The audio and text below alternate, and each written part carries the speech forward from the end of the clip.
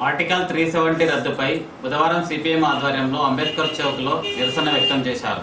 ఈ సందర్భంగా పట్టణ సిపిఎం పార్టీ ఆధ్వర్యంలో ఆర్టికల్ త్రీ సెవెంటీ రద్దు అమానుషమని పేర్కొన్నారు. బడా వ్యాపారస్తుల లాభాపేక్షకే మోడీ ఇలాంటి పనులు చేస్తున్నారని ఆరోపించారు. ఈ కార్యక్రమంలో సిపిఎం నాయకులు శ్రీనివాస్ బుగ్గప్ప మల్కయ్య తదితరులు ఉన్నారు సిగ్గు సిగ్గు మూడు వందల డెబ్బై ఆర్టికల్ రద్దు చేయడము ఇదేమి రాజ్యం ఇదేమి రాజ్యం దొంగల రాజ్యం దోపిడి రాజ్యం ఇదేమి రాజ్యం ఇదేమి రాజ్యం దొంగల రాజ్యం దోపిడి రాజ్యం సిగ్గు సిగ్గు ప్రజాస్వామ్యాన్ని గురి చేయడము సిగ్గు సిగ్గు సిగ్గు సిగ్గు భారత రాజ్యాంగాన్ని గౌరవించకపోవడం సిగ్గు సిగ్గు సిగ్గు సిగ్గు సిగ్గు సిగ్గు జమ్మూ కాశ్మీర్ ప్రజల మనోభావాలను దెబ్బతీయడము సిగ్గు సిగ్గు మూడు వందల డెబ్బై ఆర్టికల్ రద్దు చేయడము సిగ్గు సిగ్గు సిగ్గు సిగ్గు ఇదేమి రాజ్యం రాజ్యం దొంగల రాజ్యం దోపిడి రాజ్యం ఇదేమి రాజ్యం ఇదేమి రాజ్యం దొంగల రాజ్యం దోపిడి సిగ్గు సిగ్గు భారత ప్రజాస్వామ్యాన్ని కొని చేయడము జమ్మూ కాశ్మీర్ ప్రజల యొక్క హక్కులను కాలరాయడము కేంద్ర ప్రభుత్వం Jammu Kashmir three fifty seven ఆర్టికల్ను దుర్మార్గంగా ఏకపక్షంగా నియంతృత్వంగా రద్దు చేయడము అక్కడ ఉన్నటువంటి ప్రజల యొక్క మనోభావాలని దెబ్బతీయడము ఎంతవరకు సమంజసమని సిపిఎం పార్టీగా డిమాండ్ చేస్తున్నాం. ఈరోజు సిపిఎం పార్టీగా కేంద్ర ప్రభుత్వం అక్కడ ఉన్నటువంటి పేద ప్రజలపై మైనార్టీలపైన దళితులపైన వాళ్ళకు ఉన్నటువంటి హక్కులని కాలరాస్తూ దుర్మార్గంగా ఏకపక్షంగా నియంతృత్వంగా ఆర్డినెన్సులు జారీ చేస్తూ ఈరోజు ప్రజల మనోభావాలని లెక్క చేయకుండా ఆర్టికల్ను రద్దు యొక్క ఒక దుర్మార్గమైనటువంటి చర్య అని మేము సిపిఎం డిమాండ్ చేస్తున్నాం.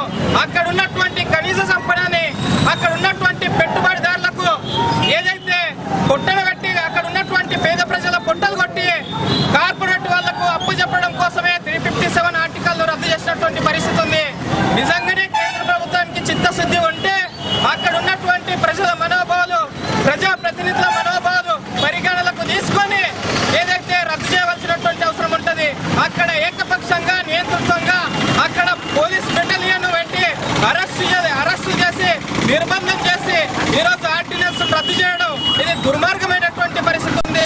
ఇది కేంద్ర ప్రభుత్వం తీసుకుంటున్నటువంటి ప్రజా వ్యతిరేక విధానాలని సిపిఎం పార్టీగా మేము తీవ్రంగా ఖండిస్తున్నాం. ప్రజా మనోభావాలు దెబ్బతినకుండా ప్రజలను అర్థం చేసుకొని ఈరోజు ప్రజా హక్కులని కాదరేయకుండా అక్కడ ఉన్నటువంటి కనీస సంపదను దోచుకోకుండా అక్కడ ఉన్నటువంటి ప్రత్యేక హోదా కావాలని ఒక రాష్ట్ర రా- కేంద్ర ప్రభుత్వమే ఒక ప్రత్యేక ఆంధ్రకు హోదా ఇస్తామంటూ ఒకంక రద్దు చేస్తుందంటే ఇది ఎంత దుర్మార్గమైనటువంటి ఆలోచన అని మేము సిపిఎం గా డిమాండ్ చేస్తున్నాం. బస్సు వలుకుతున్నటువంటి పరిస్థితి ఉంది. వాళ్ళ సొంత లాభాల కోసం కార్పొరేట్కు దారిదత్తం చేయడం కోసం అక్కడ ఉన్నటువంటి కనీస సంపదను ఏదైతే కార్పొరేట్లకు దోసిపెట్టడం కోసమే ఆ ఆర్టికల్ని రద్దు చేసిందని సిపిఎం గా డిమాండ్ చేస్తున్నాం. అందుకనే సిపిఎం పార్టీగా దేశవ్యాప్తంగా ఉన్నటువంటి ఈ రోజు పిలుపులో భాగంగా దాండ్రుల గిట ఈ యొక్క ప్రజా వ్యతిరేక మోడీ వ్యతిరేక విధానాలు ఏదైతే తీసుకొస్తున్నాడో వాటిని వెంటనే సవరణ చేయవలసినటువంటి అవసరం ఉంది. అందరికీ గిట అండగా నిలబడడం కోసం వారి హక్కులు కాదరాయకుండా పోరాడడం కోసం సిపిఎం ముందుంటారంటూ ఈ సందర్భంగా విజ్ఞప్తి చేస్తున్నాం. ఈరోజు దేశవ్యాప్తంగా సిపిఎం పార్టీ అదేవిధంగా ప్రజా సంఘాల ఆధ్వర్యంలో ఈరోజు తాండూరు అంబేద్కర్ గారి విగ్రహం ముందు నిరసన వ్యక్తం జరిగింది. ముఖ్యంగా నిన్నగాక మొన్న జమ్మూ కాశ్మీర్ యొక్క ప్రజల్ని రాష్ట్రాన్ని స్వయం ప్రతిపత్తి కోల్పోయే స్వయం ప్రతిపత్తిని కోల్పోయే విధంగా ఈ యొక్క కేంద్ర ప్రభుత్వం నరేంద్ర మోడీ గారు త్రీ సెవెంటీ ఆర్టికల్ రద్దు చేయడం జరిగింది. ఇది చాలా అప్రజాస్వామికం. ఎందుకంటే ఆ యొక్క జమ్మూ కాశ్మీర్ ప్రజల యొక్క మనోభావ మనోభావాలు దెబ్బతీసే విధంగా ఆ యొక్క జమ్మూ కాశ్మీర్ ప్రజల ప్రజాభిప్రాయ స్వీకరణ చేయకుండా వాళ్ళ యొక్క ప్రజల సమక్షంలో చేయకుండా కేంద్రంలో నరేంద్ర మోడీ ప్రభుత్వం ఈరోజు మెజార్టీ ఉన్నందువలన ఈరోజు ఏకపక్షంగా ప్రజాభిప్రాయ తీసుకోకుండా ఈరోజు త్రీ సెవెంటీ ఆర్టికల్ రద్దు చేయడం జరిగింది. ఇది చాలా అప్రజాస్వామికం. ముఖ్యంగా ఈరోజు దేశంలో రాష్ట్రంలో ఇక బీజేపీ ప్రభుత్వం మోడీ గారు ప్రభుత్వం ప్రధానమంత్రి అయిన తర్వాత అనేక మంది దేశంలో దళితులపైన మైనార్టీలపైన దాడులు జరుగుతూ ఉన్నాయి. ఈ యొక్క కేంద్రంలో రాష్ట్రంలో ప్రజలు ప్రతి ఒక్క బట్టగడ్డాలన్నా వాళ్ళ తిండి తినాలన్నా ఈరోజు కేంద్ర ప్రభుత్వం నిబంధనలు పెడతా ఉంది. ఈ నిబంధనలకు వ్యతిరేకంగా ఈ యొక్క త్రీ సెవెంటీ ఆర్టికల్ వ్యతిరేకంగా ఈ యొక్క దేశవ్యాప్తంగా నిరసనలో భాగంగా ఈరోజు తాండూరు పట్టణంలో చేయడం జరిగింది. ప్రజా సంఘాల విధంగా సిపిఎం పట్టణంలో ఈ నిరసన కార్యక్రమం చేయడం జరిగింది. భారత ప్రభుత్వం గౌరవనీయులైనటువంటి ప్రధానమంత్రి గారు నరేంద్ర మోడీ మూడు వందల డెబ్బై ఆర్టికల్ రద్దు చేసి దేశంలో ఏదో గొప్ప చేసినట్లు మాట్లాడుతున్నారు. సామాన్యమైనటువంటి తాండూరు ప్రజలారా మీరు ఒక్కటి అర్థం చేసుకోవాలి ఇక్కడ. మూడు వందల డెబ్బై ఆర్టికల్ అంటే ఏంది అనేది ఫస్ట్ తెలుసుకోండి. అయ్యా మనం ఈరోజు వికారాబాద్ జిల్లాలో ఉన్నాం. పక్కకు ఉన్నటువంటి రంగారెడ్డి జిల్లాకు మనం లోకల్ అవుతామా నాన్ లోకల్ అవుతామా అని నేను ఈరోజు ప్రశ్నిస్తున్నా. మరి ఈ రంగారెడ్డి జిల్లానే మనం నాన్ లోకల్ అయినప్పుడు మరి అక్కడ ఏదో ఎట్లా నాన్ లోకల్ అవుతుంది ఇవి అర్థం చేసుకోవాలి. పక్క ఆంధ్రప్రదేశ్కి పోతే లోకల్ అయితేనా నేను నాన్ లోకల్ అవుతానా? ఈ నరేంద్ర మోడీకి దమ్ముందా? నా క్వశ్చన్కి ఆన్సర్ చెప్పాలి. మరి అలాగే ఈరోజు మూడు వందల డెబ్బై ఒక ఆర్టికల్ ఆంధ్రప్రదేశ్కు ఉంది అస్సాంకు ఉంది గుజరాత్కు ఉంది ఒరిస్సాకు ఉంది వీటిని రద్దు చేసే హక్కు నీకు లేదా అని అడుగుతూ ఉన్నాం. మరి వీటిని కూడా రద్దు చేయి.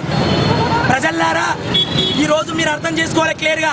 మూడు వందల డెబ్బై ఆర్టికల్ అనేది కేవలం అక్కడ ఉన్నటువంటి జమ్మూ కాశ్మీర్లో ఉన్నటువంటి సంపదను దోచి అనిల్ అంబానీ లేదా రిలయన్స్కు పెద్ద పెద్ద దోపిడీదారులకు అక్కడ ఉన్న సంపదను అంటి పెట్టాలనే కాన్సెప్ట్ చేశారు. కానీ ఒకటి గుర్తుపెట్టుకోండి నా తాండ్రు ప్రజలారా మూడు వందల డెబ్బై ఆర్టికల్ రద్దయింది. చాలా ఆనందం సంతోషిస్తాం.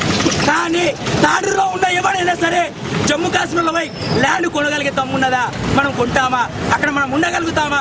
ఇవి ఆలోచించండి ప్రజల్లారా కాబట్టి బాబాసాహెబ్ అంబేద్కర్ ఆ రోజు రెండు సంవత్సరాల పదకొండు నెలల పద్దెనిమిది రోజులు కష్టపడి రాజ్యాంగాన్ని నిర్మించాడు.